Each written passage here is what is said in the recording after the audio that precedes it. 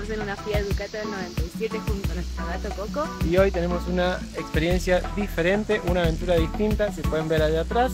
Estamos en la trochita de Esquel, auténtica locomotora a vapor.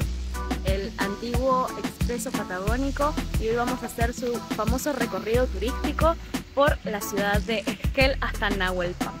Son tres horas de recorrido por lo que nos dijeron dentro de la locomotora, así que bueno, acompáñennos en esta nueva aventura.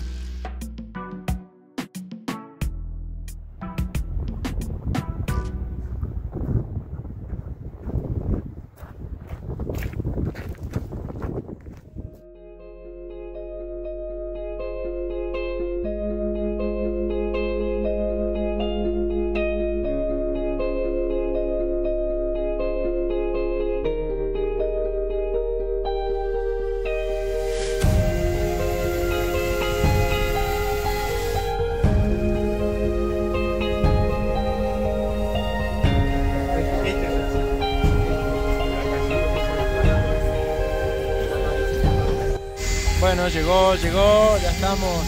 Tenemos que buscar el vagón. Nos ha tocado el vagón 1220 y estamos buscando a ver ahí a dónde está. Hay que buscar porque Son hay varios. varios. Te dan estos cartoncitos con el, el vagón y el asiento. Así que vamos a buscar. 1206. Acá está, lo encontramos. 1220. Ahora tenemos que esperar a que nos llamen con la campana. Eh, nos dijeron ahí cuando hacíamos el check-in que te llaman para mayor organización, imagino yo, eh, al sonar la campana. Así que bueno, hay, hay gente que ya está arriba igual. Sí. Este es un tren muy característico, muy popular y único en el mundo, según dicen, porque eh, es el único tren a vapor de trocha corta, por eso le llaman la trochita. Em, ¿A qué se refiere esto? Que la distancia entre sus rieles, en vez de tener la distancia convencional, que es de un metro, tiene 75 centímetros. Porque en realidad la idea original era que fuese un tren que uniese toda la Patagonia y que pudiera andar por la estepa patagónica. Por eso la necesidad de que sus vías, de que sus rieles, la distancia entre sus rieles fuera más corta, fuera menor. Eh, entonces se dice que viene gente de todas partes del mundo a conocer este único tren a vapor. Y ahora llegamos nosotros.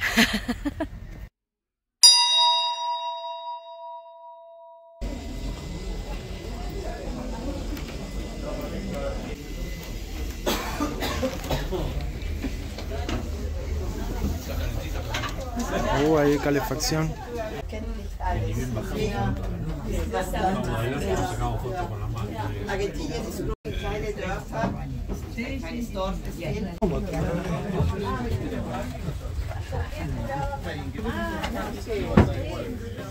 Está por arrancar, así que vamos a ver, vamos a ver qué onda. Ah.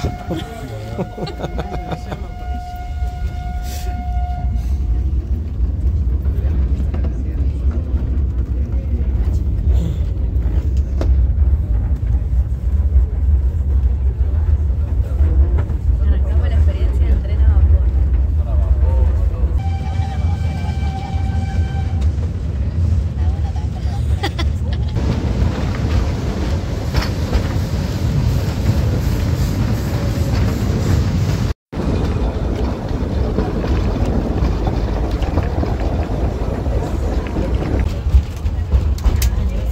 Gracias. Ya empezaron los paisajes y por lo que vemos el tren va cada vez más arriba y que vamos a hacer una parada en una comunidad. Así que bueno, vamos a seguir mostrando el viaje, pero por ahora miren estos paisajes.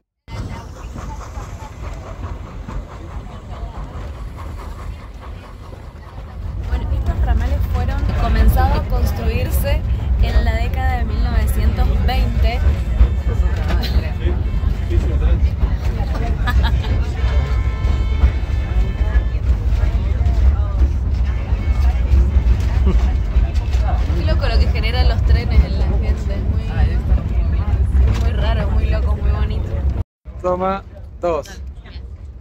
Los ramales del tren empiezan a construirse en la década de 1920 y más o menos 20 años después comienza a funcionar mixto, con, como tren de carga y como tren de pasajeros, hasta que en la década del 50 solamente queda siendo utilizado para tren de pasajeros. Las cargas, al empezarse a innovar en las rutas y el surgimiento de los camiones, las cargas empiezan a trasladarse a los camiones. Em, pero ah, en la década de 1990, en el año 1993 específicamente, donde el gobierno nacional eh, suprime, da de baja, privatiza más bien los ferrocarriles de toda Argentina, este tren deja de funcionar, em, como muchos de los trenes argentinos pero se sigue utilizando a partir de ese entonces como tren de turismo, como lo conocemos ahora.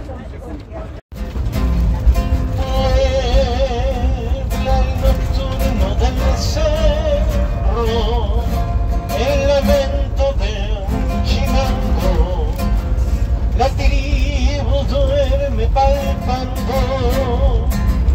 La tibieza de un quillango. Hay sobresalto en los sueños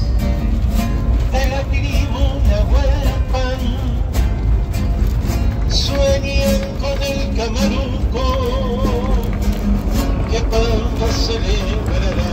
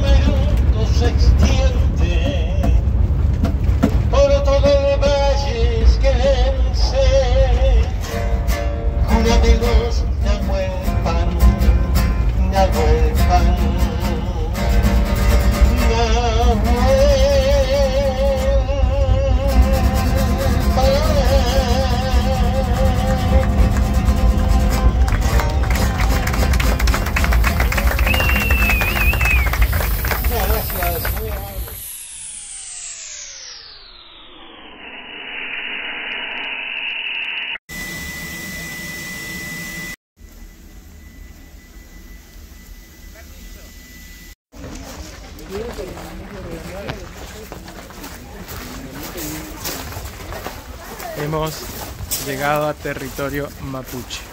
Lo que queríamos contar es que está buena la parte donde termina el recorrido, donde frena la locomotora, te puedes bajar, porque es una comunidad de Huelche mapuche. Y bueno, está bueno porque tienen puestos de artesanías, puedes comprar tortas fritas, empanadas, dulces locales, bueno, un montón de cosas eh, autóctonas y otras, bueno, no tanto, también se trabaja mucho con el turismo, eh, pero podés como también interactuar conocer un poco la historia también de las comunidades de acá de la zona. Si bien en- de esta comunidad quedan muy pocas personas viviendo eh, y varias viven incluso acá en la misma estación de tren, eh, muchas de las personas que propias de esta comunidad, la comunidad de Nahuelpana, ahora están viviendo en Esquel, pero eh, actualmente funciona mm, una escuela, la escuela, la escuela Isabel Nahuelpan, en donde bueno los chicos ser una escuela rural propia de la comunidad tehuelche mapuche, los chicos adquieren el, el idioma, la lengua nativa. Bueno, ya ahora estamos por pegar la vuelta. Eh, fíjense que la locomotora ahí está viniendo de vuelta porque lo que hace es dejar los vagones, va, da vuelta solo la locomotora y regresa.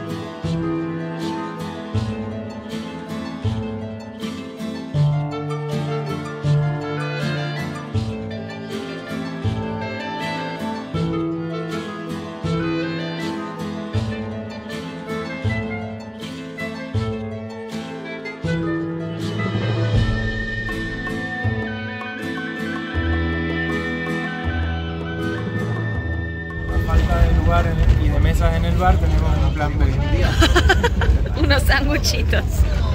Sanguchitos. Patamuslo.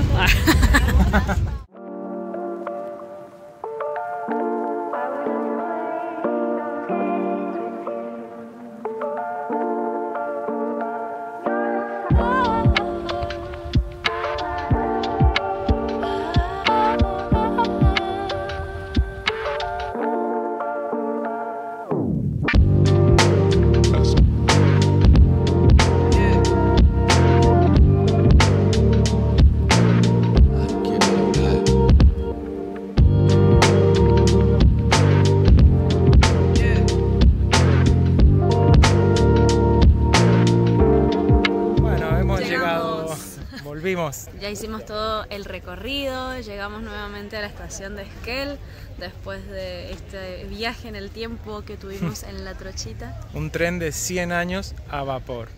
Eh, por ahí un detalle a tener en cuenta es que no funciona con leña, sino que funciona con gasoil, pero sigue teniendo el mecanismo de una locomotora a vapor. Exactamente. Bueno, datos curiosos para el- los que deseen venir a conocer y hacer este recorrido tan icónico acá en la Patagonia. El tren no sale todos los días, tiene ciertos días, por lo general el jueves y el sábado, que hace su recorrido. Ujú. Eh, en temporada alta suele hacerse más grande la frecuencia y, y bueno, tienen la posibilidad también de, de visitar el museo para informarse un poquito más y todo esto es parte de la historia.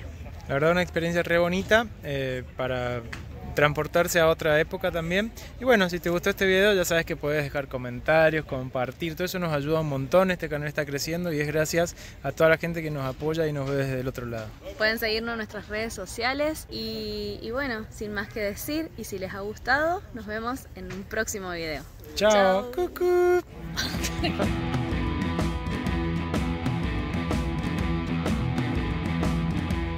Estamos aquí una gallina perro que pide comida.